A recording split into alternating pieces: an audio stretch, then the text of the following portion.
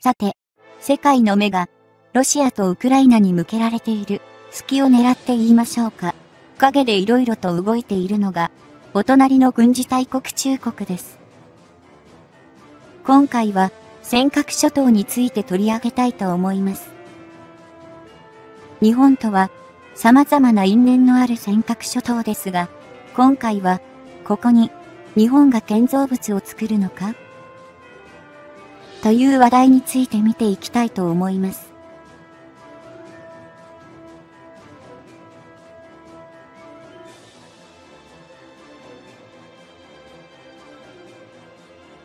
尖閣諸島に日本が建物を作ると言い出したのは自民党の高市早苗議員でした。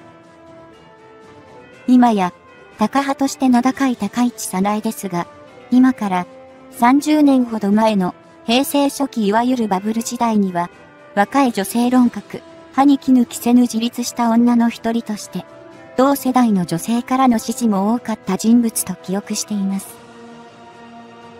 男女雇用均等法が施行されたことで、性別に関わらず、平等と思われるに働けるようになった時代が来たということで、単なるコピー取り要員、お茶組要員と見られていた OL の中にも、総合職という管理職を目指せる職位ができたのです。女性の新しい時代が到来したと、当時の女性たちは、キラキラとした瞳で働いていたはずです。こういった時代に、高市早苗は、知性派コメンテーターとして、たくさんのテレビに出演し、キャリア女性の代表と見られていました。ちなみに、当時の皇太子だった金城天皇の置先候補として、必ず名前が挙がった小和田雅子さんも、外務省職員として世界中を飛び回っていました。当然、この方も女性たちの憧れの敵になっていたようで、皇太子妃と決定した時には、せっかくのキャリアがもったいないという声が上がっていました。さて、高市議員は、松下政経塾に入って、松下幸之助の精神を叩き込まれたと思われます。その後政治家を目指し、無所属で立候補したものの、落選。落選に懲りたのか、自民党入りして当選しました。松下政経塾出身者には、政治家が多く、彼女の他にも、同じ自民党の小野寺御殿、河合克行がいます。また、野田義彦、原口和弘、前原誠二などの野党や無所属議員も、松下幸之助氏の精神に学んできたようです。松下幸之助氏と言ったら、水道理論で、すべての人々が電気を使えるようにと、様々な発明をしたことでも有名ですよね。いわば、大多数の国民側に立った人だったのに、その教えを受けた人が与党に入ったということを怒った人も多かったようです。政治家になる目的のため、ショートカットで自民党入りした高市早苗の講演が行われたのが、2022年3月9日でした。尖閣諸島は、言うまでもなく日本の領土ですが、そう思っていないのが中国です。勝手に領有権を主張し、公船を日本領海や接続水域へ侵入させていることは嫌というほど報じられています。その中国に対して、この島々は日本の領土であること、施政権が日本にあることを示すために対抗すべきと主張したのでした。そして、尖閣諸島が日本領とはっきりさせるためには、何らかの工作物を設置する必要があるとも発言したそうです。南西に位置する尖閣諸島と対比させるため、彼女が持ち出したのは北つまり北方領土でした。1945年、昭和20年、太平洋戦争終戦時に、当時のソ連が日本のポツダム宣言中理後、つまり終戦後に侵攻して占領したため、奪われた形になった北方領土です。そういえば、1945年8月9日、つまり終戦前ですが、日本との中立条約を一方的に破棄して、当時の満州へ侵攻したのも、当時のソビエトでした。その知らせを聞いた関東軍のお偉方は、家族と財産を手にいち早く脱出しましたが、何も知らされていてなかった一般庶民は、悲惨な逃亡を余儀なくされ、多くの新たな犠牲者を生んだこと、中国残留孤児が生み出されたことも、絶対に忘れてはならない史実ではないでしょうか。こういった歴史があるため、日本は日ソ漁業交渉などとセットで北方領土問題を交渉のテーブルに乗せ、話し合ってきました。解決後に平和条約の締結という段取りは多くの時代を経てソ連崩壊後もずっと継続中だったのです。北方領土については旧島民のビザなし渡航が可能になり、旧島民との交流も盛んになったことで、ついに返還に向けた雪解けか？と、日本国内の期待が高まった時期もあったのですが、ここ数年は新型コロナのせいで、交流も行えませんでした。そして、ロシアのウクライナ侵攻によって、ますます交流事業は先細りしつつあります。北方領土返還交渉を振り返ってみると、一番忘れがたい出来事は、1973年昭和48年だったと思います。当時の田中角栄首相がモスクワに乗り込み、文字通りの命がけで、ブレジネフ書記長との会談文書に、北方領土の4文字を盛り込んだのです。ソ連は、日ソ間に領土問題は存在しないとずっと突っぱねてきましたから、これはソ連に対して大きな一歩を踏み出したことになったのです。それ以降、歴代の首相は、ロシアに代わってからも、北方領土問題を取り上げてきました。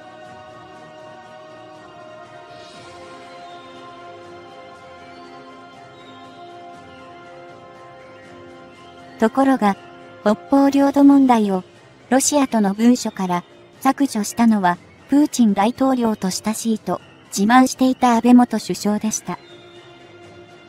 個人の付き合いと国家の付き合いを一緒くたにしたのかと思ったものです。高市早苗は、安倍元首相とも距離が近く、後継者と辞任しているようにも見受けられましたが、この点について、どういった説明を受けたのでしょう。国防国防とお題目を唱える人間が、この問題をスルーしたとは考えられませんが、尖閣諸島への中国の行動に腹を立てた当時の石原慎太郎の発案で、尖閣諸島国有化という話が飛び出しました。全国から賛同する寄付金が集まり、尖閣諸島は2012年、平成24年に日本が国有化したことになりました。とはいえ、中国は手を引こうとはしません。肝心の島に日本人はいませんし、日本のものは何もないからという理由もあるようですね。だからこそ、自民党の中には、ヘリポートや灯台などを建設し、施政権を主張すべきという意見があるのです。高市議員の発言は、その意見を支持しているのでしょう。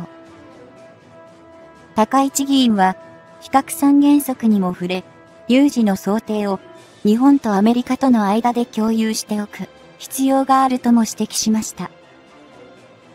とはいえ、現在の自衛隊とアメリカ軍間のニュークリアシェアリング、核兵器共有、アメリカ軍の兵器を共有化することは、自衛隊法では想定されていません。つまり、現状のままでは難しいという認識で、自衛隊法改正など法整備が必要であるという意見でした。簡単に言えば、アメリカの兵器を自衛隊が使えるように自衛隊法を改正すべきということでしょう。こういった発言に対するネット上の反応は賛同の声が多かったとか。平成初期のバブル期、日本は政治は三流、経済は一流と言われていましたが、ここ最近は、経済も国民生活も、先進諸国の中でも、最下位に落ち込んでいます。責任の所在は明らかですが、目をそらすために、強い日本復活を唱える人間も多いのではないかと感じています。日本が頼るアメリカで、菅、尖閣諸島の領有権について判断する立場にはないため、領有権の対立は、関係当事者間での平和的解決を期待するという、中立的な立場を公にしているのです。その一方で、尖閣諸島は、1972年、昭和47年の沖縄返還以来、日本の施政下にあるから、日米安保条約第5条の適用対象になるという見解も示しています。要するに、アメリカは、どちらにも、いい顔をして、現地を取られないようにしている。つまりダブルスタンダードと思われるのですが、別の言い方をすれば、したたかで老練な政治手法ということではないでしょうか。正直な感想ですが、日本のように馬鹿正直で、唯一の道しか選択肢を狭めていては、現在のように複雑に絡み合った国際社会では、立場が悪くなる一方ではないかと思うのです。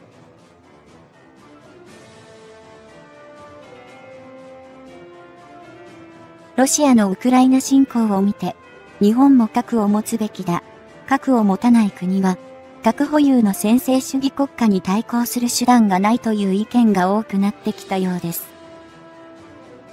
現在のアメリカは、一昔前の絶対的兄弟国ではなく、同盟国どころか、自国を守るだけで精一杯ではないかと感じられます。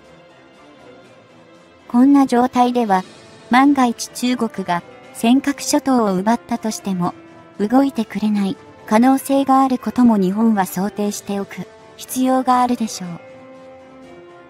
仮に、アメリカとのニュークリアシェアリングが実現しても、アメリカが有事の際に日本を助けてくれるかどうか疑問は残るのです。この危惧は現大統領のバイデン氏に限らずアメリカ第一主義だったトランプ氏だろうがロンヤスと中曽根総理と呼び合ったレーガン大統領だったとしても変わりはないでしょう。自国、自国民を守るのが政治家の第一義ですから、同盟国を守るために自国民の血を流すことを了承するとは思えません。日本は、思いやりという名前で、巨額予算を在日アメリカ軍に注ぎ込む一方、在日アメリカ軍の凶悪犯罪を見逃さざるを得ない立場です。この日本をアメリカは見捨てるだろうと判断せざるを得ないのです。だからこそ、敗戦後にアメリカに押し付けられた憲法を改正、解約して核武装すべきというのが高市早苗の意見でしょう。賛成意見も多いようです。試験ですが、そんなにアメリカだけに頼っていて良いものかと感じます。世界の多くの国と全方位外交を行い、セーフティネットは、なるべく多く作っておく必要もあるのではないかと思うのですが、皆さんはいかがでしょうか？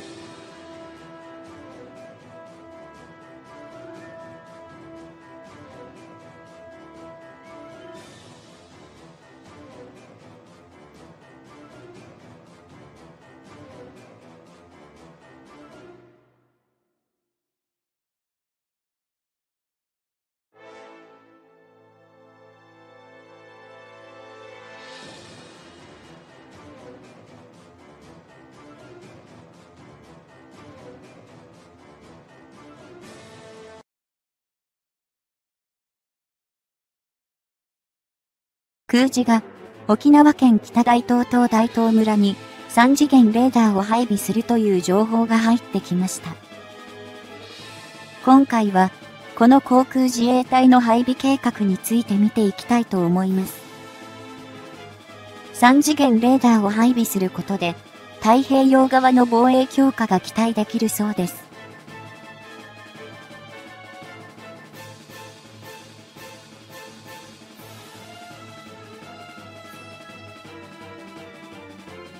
2022年8月23日、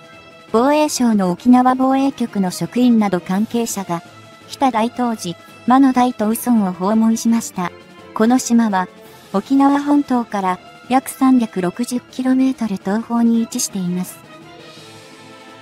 やってきた人々は、この地域の水道や道路等、インフラに関する現在の状況について確認作業を行いました。これまでに、大東村には、防衛省の委託を受けた民間事業者が、8月上旬、測量調査のために入村しています。これによって、前月7月に航空機から行った測量調査と合わせて、将来的にも精緻な現地の状況把握が進んだことになりました。北大東島の大東村に、こうした動きがある理由ですが、航空自衛隊が装備する移動式警戒管制レーダー設備を持つ部隊を、新たにこの島に配備、展開するための事前準備なのです。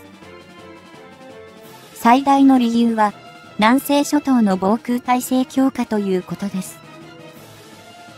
空自は、日本全国に固定施設であるレーダーサイトを28カ所設置しています。そこでは、日本の領空に無許可で侵入してくる不審な機体がないかを常時監視していて、ここからの情報を4カ所の防空指令所に集約して、適切な対応をとっているのです。各々の防空指令所では、集められた情報をもとに、地域ごとに置かれている待機中の戦闘機部隊に対して、スクランブル発進を行うか否かの指示を出します。つまり、日本の領空を24時間間体制で警備する体制を敷いているのです。と言っても、このような監視体制の用となるレーダーサイトは精密機械ですから、何か不測の事態が起こる可能性もあります。思いがけないトラブル、悪天候による障害、最悪の場合、敵からの攻撃を受けて破壊されることもあり得るでしょう。そうした情報収集任務を完全に果たせない状態に陥ることを避けるため、代替手段を備えておく必要があります。こうした場合、最初に、この役割を担い得る存在というのは、E2C、DI767 といった固定翼の早期警戒管制機です。これらの機体は、十分に稼働できなくなったレーダーサイトの監視範囲を空から補填する活動に従事することができるそうです。そして、このような航空機でのカバーと並行して、地上でも、その代替品となるものがあります。それが、車両搭載型の3次元レーダーを持つ部隊です。車載型ですから、陸上を移動可能なレーダー設備と言えましょう。移動すれば、敵に所在地がバレることもないでしょうしね。この陸上移動型レーダーサイトは、3つの要素から成り立っている設備だそうです。巨大な筒状の3次元レーダー J、TPS-102A、航空機の飛行データを処理する装置、それらの装置に電気を供給する発電機という3つで構成されたシステムなのです。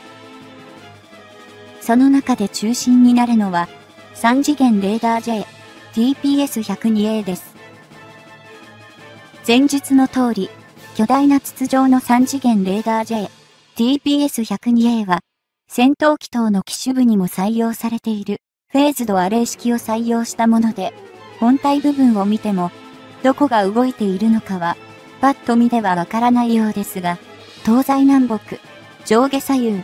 全周囲の索敵を行える機能を持っているのです。こういった車両搭載型3次元レーダーは、戦時だけでなく、平時でも活躍しています。それは、固定式のレーダーサイトの定期的維持管理のためのメンテナンス等を行う時のことです。今後は、北大東島に、常設で、このシステムを配備しようという計画になっているそうです。言うまでもなく、その最大の理由は中国です。アジア最大の軍事大国が、航海、東シナ海、南シナ海、そして西太平洋へと海洋進出を加速させていることは、知らない人はいないでしょう。この中国軍に対する警戒、警備体制の強化と、年々増強される同国の航空戦力に対抗するための情報収集能力向上が目的です。今回車両搭載型3次元レーダー配備先の候補地として名前が挙げられている北大東島の大東村ですが、この島とは別に東京都の小笠原諸島父島も検討対象にされたことがあるそうです。父島にも将来的には配備されるかもしれませんね。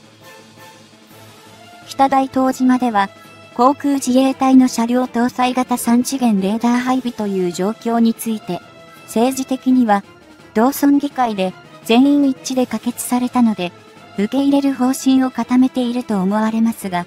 場所が沖縄ですから、どうしても、マスコミやメディアの批判が根強いようですね。当然といえば当然とも思われます。沖縄メディアの一つ、琉球新報は、前年2021年12月11日付社説として、北大東寺前の車両搭載型3次元レーダーの配備に反対しています。沖縄本島は、元より、与那国島、宮古島、そして石垣島などの沖縄の島々が、次々に要塞化されるのではないかという記事で、一部の人からは煽っているとも批判されているようです。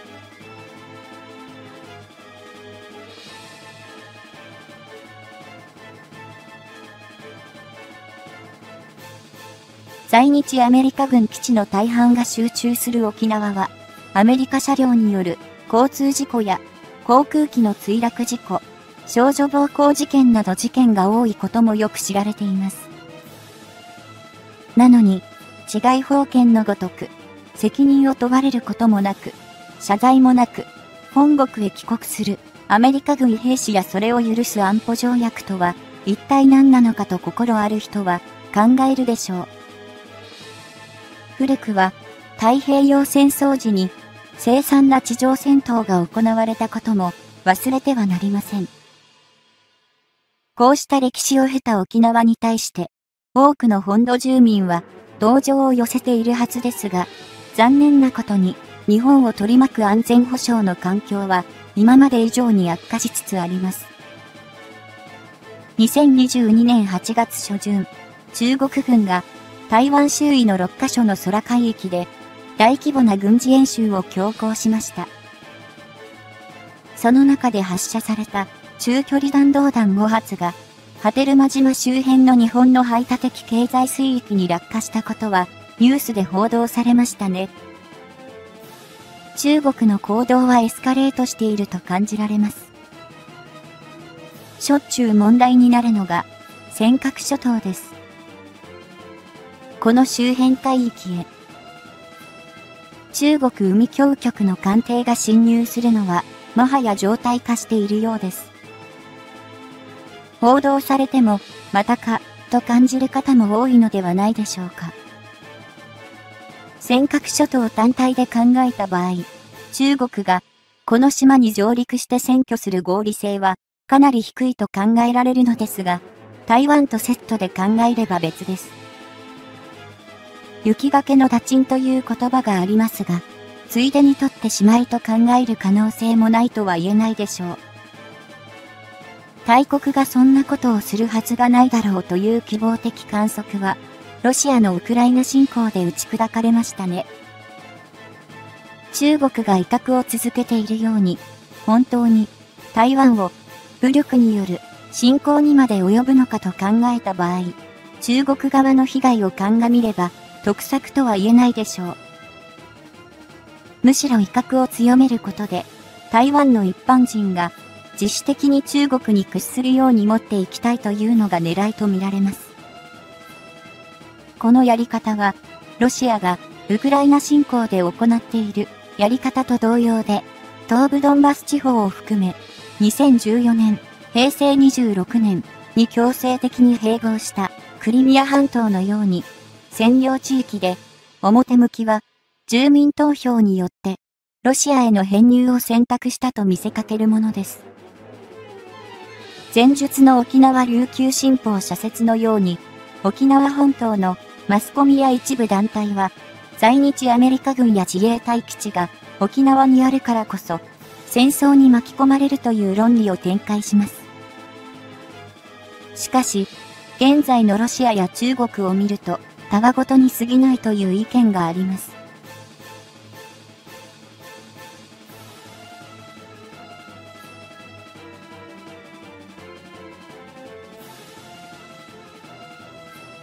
ロシアは、ウクライナ戦争で経済制裁を続ける日本に対し、北海道の半分は自分たちのものだと言いがかりをつけ始めましたし、中国は、沖縄は、かつて自分たちに徴工していた属国だと見さしているらしいのです。その論理なら、韓国も中国の属国ということになりますよね。そもそも、北大東島南方に位置する無人島の沖大東島は、1956年、昭和31年以降、アメリカ軍の射爆場となっていました。その状態に対しての大きな異論はこれまで起きておらず、過疎化が進む村の現実として受け入れられてきたということです。そうした歴史的事実がありますが、北大東島への空自車両搭載型3次元レーダー配備について、反対を唱える勢力は、沖縄県すべてで無防備都市宣言を出すべきだという無責任な声も見受けられるそうです。この無防備都市宣言というのは、正式には無防備地域宣言と言います。宣言した特定の都市や地域に対する攻撃を行うことは、戦時国際法で禁じられているのですが、現実的には機能しないでしょう。残念ながら。そもそも、無防備地域宣言とは、党の都市や地域が属する国家が、他の国家との戦争状態にあることが大前提ですから、戦時国際法のルールによっても、戦時である場合にしか、効力を発揮しないというわけです。そして、赤十字国際委員会コメンタールでは、無防備地域宣言を発行できる主体は、原則その国の政府のみであるとしており、一地方自治体この場合は、大東村や沖縄県は行えないということなのです。個人的には、いいアイディアではないかと感じるのですが、日本政府をはじめ、国家としては、国家そのものが持っている自衛権を一地方自治体がひっくり返すような体制ではありません。したがって、無防備地域宣言という戦時にのみ、限定的に成立する概念は、他国からの武力侵攻の歯止めにはならないということですね。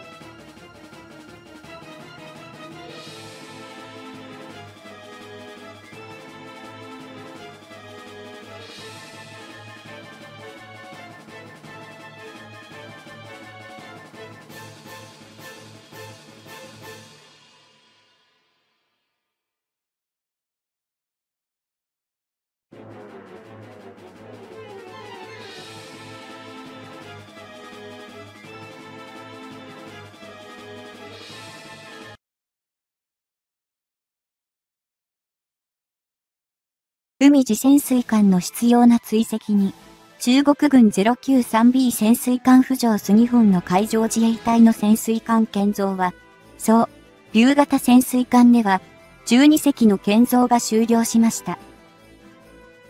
最後となる11番艦王流、12番艦東流は、機関にリチウムイオン電池を搭載した潜水艦になるようです。このおかげもあり、生殖性にかけては、世界ではトップクラスと思われます。比較三原則によって、日本は、源泉を持つことはできないとなっています。通常動力型潜水艦しか持てない非凡ですが、リチウムイオン電池が進化したことで、原子力潜水艦より優れた性能を手に入れることになりました。時代がもたらした画期的なテクノロジーの恩恵を受けることになりますし、日本の技術力も諸外国より抜きん出ているとは言うまでもありません。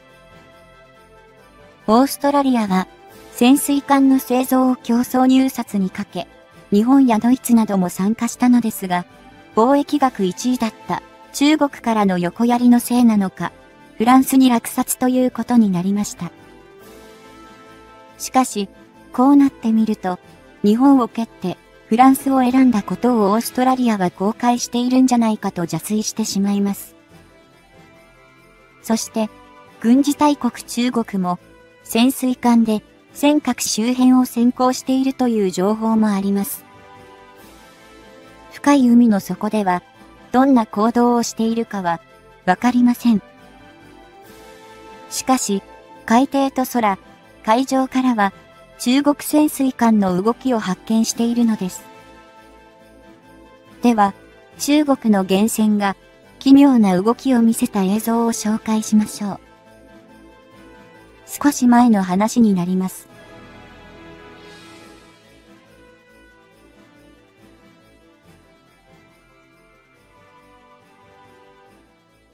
2018年、平成30年1月、宮古島及び尖閣諸島の一つである大正島の接続水域、領海に接する一定範囲の公海を先行しながら日本領海に侵入していたのが中国海軍の 093B 型原子力潜水艦です。この艦に関しては写真はほとんど公開されていません。どんなフォルムなのか諸言も全く不明です。しかし、中国国営テレビの中に、この 093B 潜水艦が映っていたと報じられたのです。中国国営 CCTV 中国中央電子台は、海軍の報告として、公海と渤海で行ったとみられるミサイル兵器システム攻撃訓練映像を放映しました。その映像の中に、他の多くの艦艇とともに 093B 型源泉が含まれていたと思われるのです。CCTV で放送された映像のスクリーンショットを掲載しますね。これが 093B 型原子力潜水艦と推定される潜水艦です。そして、こちらが2018年1月、日本の接続水域に侵入した潜水艦なのですが、093B 型原子力潜水艦とよく似ていますね。そっくりと言っても良いでしょう。この 093B 型原子力潜水艦の特徴ですが、帆の後方付け根にあるミサイルを収容する台形状の膨らみです。方向舵が十字になっていますが、その上に何かの構造物も見えます。1月に領海侵入した潜水艦と特徴が似ていますし、やはり同一艦と思わざるを得ません。というものの、093B 型潜水艦 G 型を含むは、2015年、平成27年以降に複数艦が収益したと聞きますから、この艦が接続水域に侵入してきた当該潜水艦なのか、そうでないのかは、依然としてはっきりしないのです。同型の別館かもしれませんしね。では、問題の、なぜ、中国原子力潜水艦は浮上したのか、を推理していきたいと思います。まず状況について説明しましょう。防衛省の発表によると、2018年1月10日、海自護衛艦トライ5航空軍所属の哨戒機 P3C が沖縄県宮古島東北東の接続水域を北西に進んでいる潜水艦を確認したといいます。再度説明しますが、接続水域というのは公海ではあるのですが、領海に接している海域なので、一定の権限が行使できる水域になっています。なので、海上自衛隊は、この潜水艦を2日間にわたって追跡しました。12日午後になって、尖閣諸島、中国名は、長魚島北西の東シナ海の公海に浮上した潜水艦を発見したそうです。しかも、この潜水艦は中国国旗を掲げていました。今更の説明は必要ないでしょう。尖閣諸島は、日本と中国が領有権をめぐって対立している当初ですから、その近辺に中国艦船が出没するというのは嫌になるほどよくあることですね。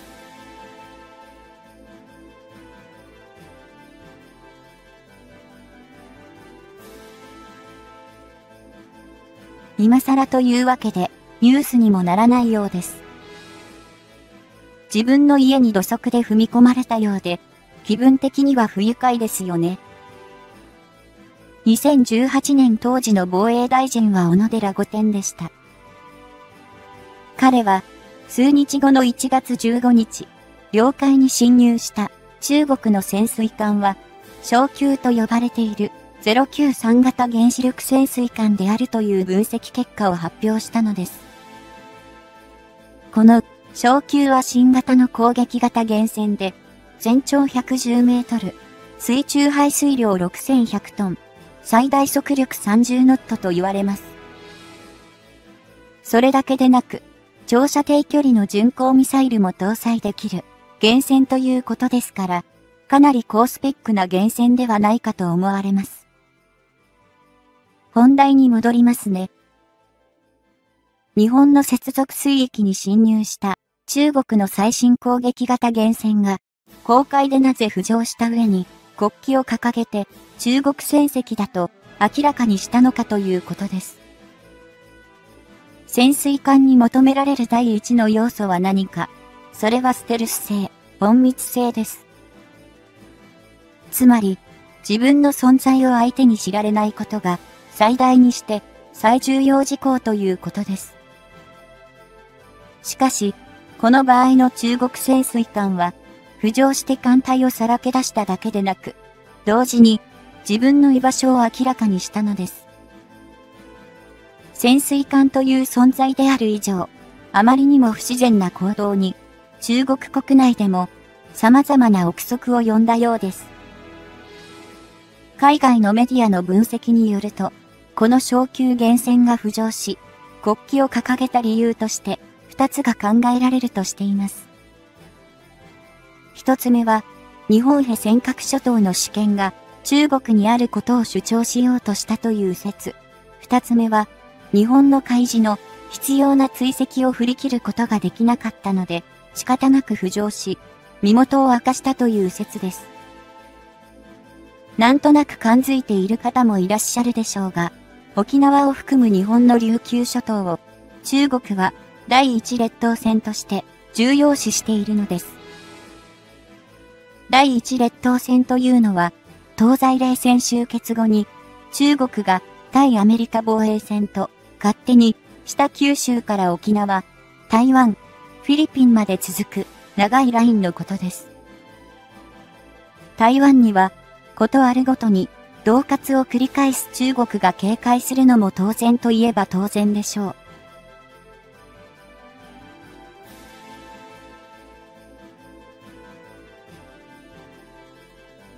このラインは、中国とアメリカ、両軍の潜水艦が、年がら年中、先行行動を展開していると言われている海域です。だからこそ、隠密という潜水艦としての最大要素を無視して、自分の存在を公表したということかもしれませんね。